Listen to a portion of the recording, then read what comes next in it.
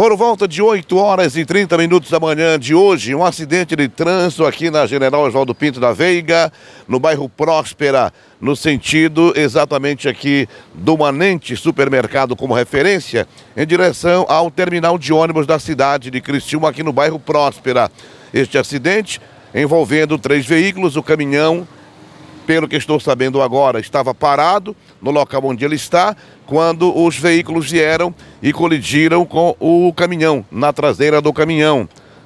Deixa eu me aproximar aqui com as imagens do Nilson Carioca. Olha só, Carioca, este veículo aqui, na parte da frente completamente danificado, né? É um Corsa, para-brisa quebrado, parte interna do carro também. A gente percebe aqui muitos destroços aqui dentro eu estou vendo que tem uma sandália do motorista, tem a sandália do motorista que está aí no banco, outra sandália do motorista está lá no local do acelerador, certo? O carro ficou danificado exatamente na parte da frente aqui do veículo que bateu na traseira deste caminhão. Aqui atrás também para-choque do caminhão, onde o veículo, o veículo bateu. Um rapaz aqui Deixa eu ver se ele conversa comigo, está conversando com o policial. Você é o motorista de algum dos veículos? Sim, motorista do caminhão. Do caminhão. Bom dia, como é o seu nome? Bom dia, tudo bem? Edilson. O Edilson, como é que aconteceu aí? O que que tu viu? Que é... tu estava dentro do caminhão? Eu estava dentro do caminhão fazendo descarregamento na agropecuária. O rapaz veio de lá, colidiu no carro ali, nos três carros e parou embaixo do caminhão.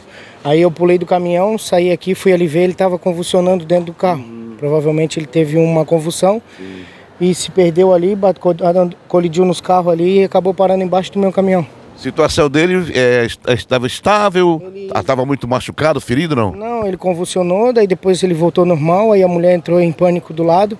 Aí a gente tentou abrir a porta, mas nenhuma das duas portas abriram. E aí ele, ele voltou ao normal, ele ficou calmo e a mulher entrou em choque. Daí a gente tirou a mulher por trás do porta-mala e aí os bombeiros chegaram para tirar ele, porque ele estava não tinha como sair, né? Tava preso dentro do carro. Mas aparentemente ele estava bem, assim, um, nada demais, só um pouco de sangue no rosto, porque ele bateu com a cabeça no para-brisa. Os dois estavam sem cinto também dentro do carro. Já complica mais, né? Isso, é. Obrigado, meu amigo. Obrigado, viu? Edilson, né?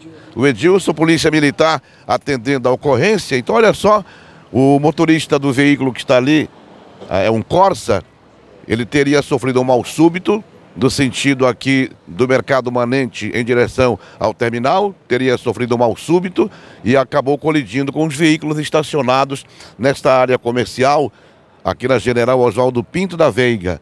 Ele bateu primeiramente neste Peugeot, bateu aqui na lateral do Peugeot, parte traseira do Peugeot, certo? Depois ele foi levando aqui, bateu esta caminhonete também, encostou na caminhonete, o, na verdade, o Peugeot foi lançado junto à caminhonete, que tinha os, o detalhe ali, veio, bateu na traseira deste outro veículo, certo? Este outro veículo, Toyota, bateu na traseira do veículo e acabou colidindo com a traseira do caminhão baú estacionado em frente ao Hortifruti Aldo como referência aqui no bairro Próspera. Foi nesta manhã de sexta-feira este acidente por volta de 8 horas e 30 minutos, certo? É, atendimento dos bombeiros, inclusive quando a gente é, vinha para o local, os bombeiros vinham também é, para atender a ocorrência. Bombeiros estiveram aqui, retiraram o rapaz e a passageira do Corsa e a Polícia Militar fazendo o seu trabalho, pegando agora as informações para a questão de perícia e outras coisas mais. Mais uma reportagem de trânsito que você acompanha aqui no programa Cobertura Regional, fazendo a reportagem onde o fato acontece.